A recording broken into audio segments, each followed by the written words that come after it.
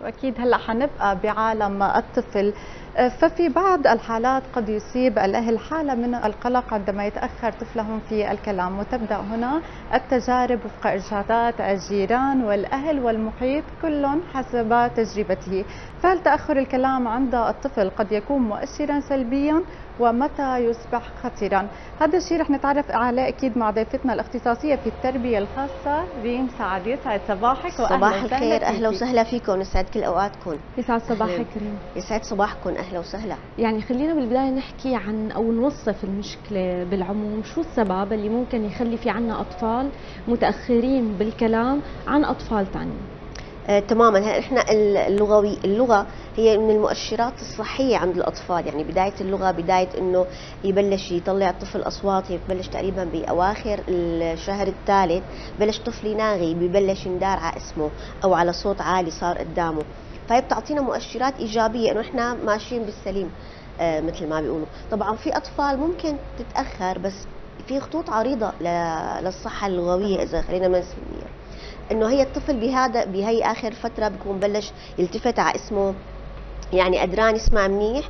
أنا دائما لازم أكون بالعمر الصغير طفل ما بيقول إنه أنا ما عم بسمع. فدائما أنا بدي انتبه إنه الرضيع اللي عندي يا ترى في عنده رشوحات زيادة؟ لأنه رشوحات بتعمل أكياس مي بالاذن أو بتعمل مي بالاذن ممكن إنه تعيق السمع. عند الأطفال فممكن ما يسمع أو توصل الكلمات مشوهة أو في أحرف ناقصة بالكلمات فبتطلع تعطيني لغة مشوهة أو بيتأخر فيها الكلمات.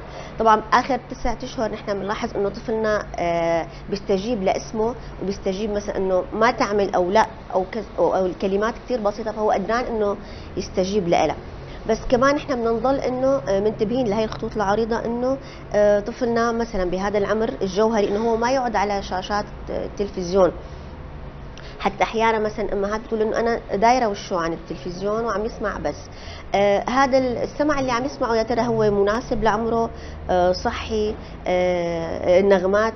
هي يا ترى معيقة ولا مثمرة للطفل بعمره؟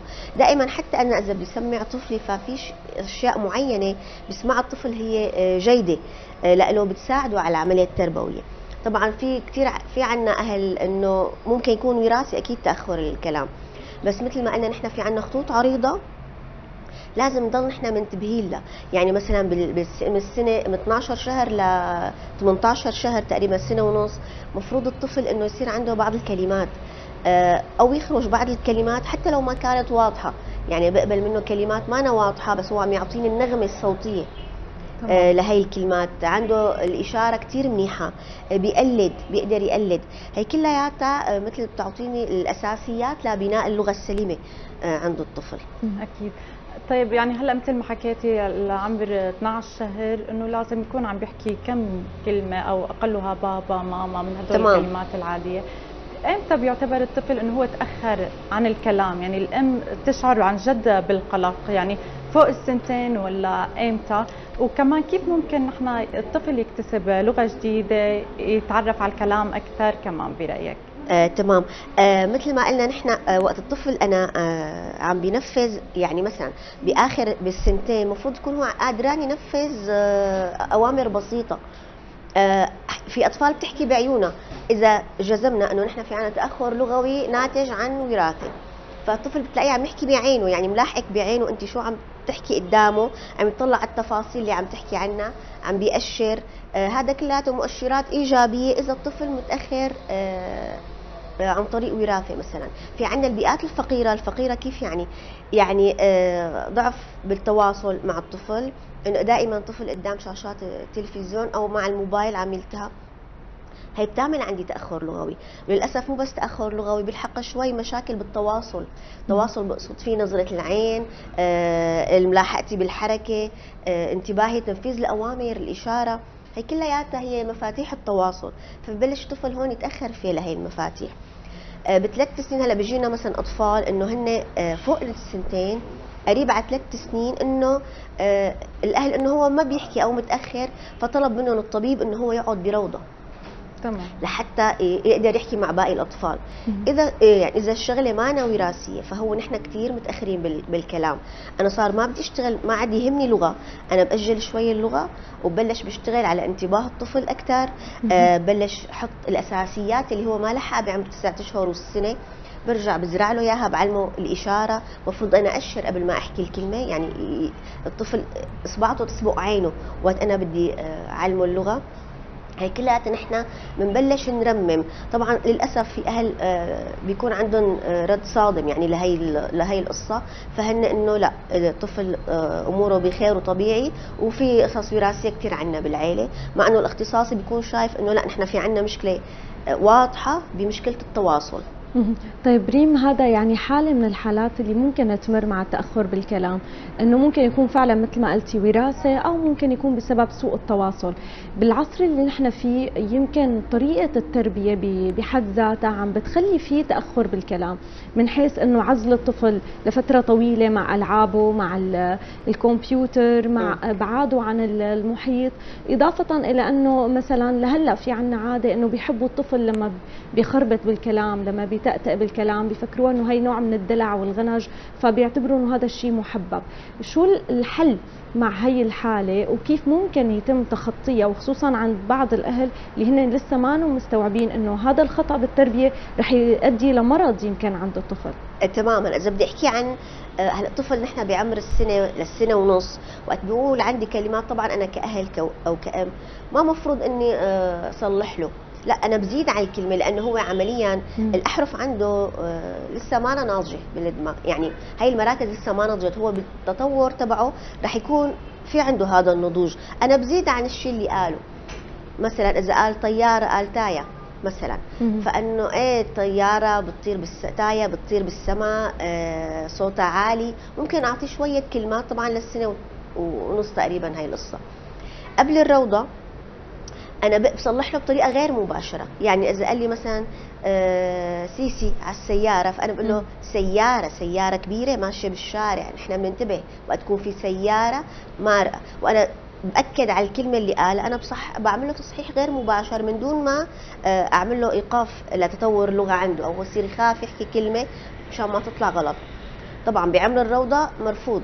أنا بشكل مباشر إنه لا هي اسمها سيارة. وبصلح اللغة بشكل مباشر لأنه صار بالعمر المفروض يقول فيه الكلام بشكله الكامل.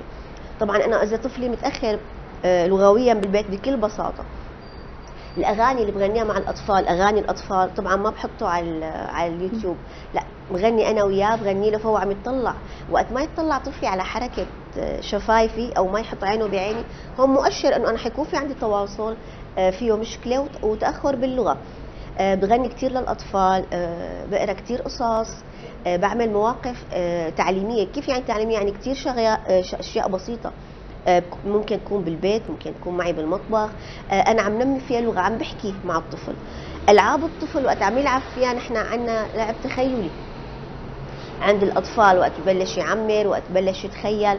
كمان هي بلاحظها إذا طفلي ما عنده هي هو بيكون عم يحكي مع الألعاب.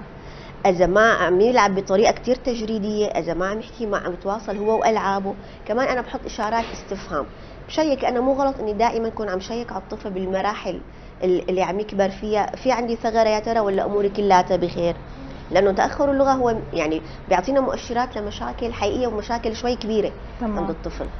أهمية الوعي على هذا الموضوع أهمية الوعي عند الأهل. يعني إمتى هن المفروض ياخذوا طفلهم عند طبيب اللي يشوفوا ممكن يكون عندهم مشكلة ربط باللسان هي كمان. كثير سبب رئيسي بتأخر الكلام عند الأطفال أو ممكن عندهم ضعف بالسمع إمتى أنت بتنصحي الأهل إنه يتوجهوا لطبيب ليفحص طفلهم بشكل كامل ليعرف إنه السبب الحقيقي من وراء تأخر الكلام أنا ما في عندي يعني ما في غلط تمام. اذا أنا بعمر السنة أو عمر السنة وشهرين آه، شيكت على على السمع عند الأطفال بالاخص إذا قلنا إنه الطفل عنده كثير رشوحات عنده آه، يعني أمراض كثيره إنه بتسبب إنه في ممكن يكون في مي بالأذن أو أكياس مي بالأذنين. ممكن هو إنه تأخر شوي عنده الكلام أو النضج الكلامي آه، طبيب الأطفال آه، بيمكن يشيك لي آه، ممكن يشوف لجام اللسان في لجام أو ما في. طبعا اللي عنده لجام بيكون عنده مشاكل بالرضاعة بيكون عنده ما بيعرف يرضع ما بيعرف يعني مشكلة بالمص. فأنا تلقى يعني رح شوفه. أحيانا بيكون لجام صغير بس هو ممكن يعمل لي مشاكل باللغة. فهذا كمان الطبيب كثير سهل إنه يكشفه حتى الأم سهل انه إنه تكشفه يعني مجرد ما تحط اصبعتها تحت اللسان حيبين. والم مثل اللسان له من نص آه، في آه، مثل مثل النجاصه الشكل تبعه. هذا آه، سهل بس إنه على. ربط لسان بس في نقطة اللي حلوة يعني واللي حلوا مشكلة ربط اللسان وكبروا بس لهلأ مثلا لغتهم ما عم تزبط. لهلا مثلا الأحرف ما عم بيلفظوها بشكل صح. شو السبب؟ آه تماما. مثل ما قلنا نحن وقت أول ما حكينا إنه وقت بكون أنا عندي ثغرات بالتطور وراحت المرحلة اللي هذا الحرف أو هاي الكلمات لازم تطلع أنا ما ما راح تتصلح لحالها. آه بدي أريد آه بدي أرجع أعمل إعادة لتأهيل الجهاز. يعني بيأهل اللسان من أول وجديد لأنه بيكون لسان رخو. يعني ممكن هو يكون نازل بالتم مانو مشدود. بعمل له شوية تمارين بعمل تمارين للوش تمارين للسان بحفز عنده آه، النطق عند الطفل. وهي مرحلة كثير بسيطة وبتجاوزها. بم- بمجموعة من المساجات ممكن أي أخصائي أو ممكن أي حدا عنده خبرة بجهاز النطق يفيد الام فيها. فمشان مشان هيك بيتأخروا هدول اللي عندهم أطفالنا اللي عندهم لجان. بس هي شغلة بسيطة آه، بتنحل. أكيد. قبل ما نختم حديثنا معك النصيحة الأبرز اللي بتحبي توجهيها اليوم لكل أم عم بتتابعنا ويمكن لسه ما انتبهت على بعض المؤشرات اللي ممكن تؤدي لتأخر الكلام أو نطق عند طفلة. تماما. يعني إحنا عندنا عمر السنة ونص للسنة وثمان أشهر. آه، كثير عمر خطر. يعني نحن لأنه يعني جزء منيح من اضطرابات التواصل بتظهر بهذا العمر. فكتير الام تنتبه آه، ما يعني ما تاخذ ببال إنه آه، أبوه تأخر عمه خالته تأخر بالنطق. بدها دائما تشيك مو بس عن طبيب الأطفال. طبيب الأطفال بيفحص الطفل عضويا. فهو ممكن يشوف جهاز النطق سليم الاذنين سليمين. فبيقول إنه كل شيء سليم. نحن بدنا نشوف اختصاصي. الاختصاصي مع الطبيب هو اللي بيردف إذا ابني أنا عنده مشكلة أو لا. طبيب لحال ما بيكفي واختصاصي لحال ما بيكفي بدنا نكون نحن اثنين مجتمعين سوا لنقدر نقول إنه أمورنا بخير أو لا. في عنا مشاكل. نتمنى الصحة طبعا لجميع الأطفال. أكيد أكيد. نتمنى صحة لجميع الأطفال. شكرا لك شكرا لمعلوماتك. شكرا لكم. لوجودك أهلا معنا. وسهلا. شكرا لك شكرا لكل المعلومات اللي قدمتيها. أهلا وسهلا.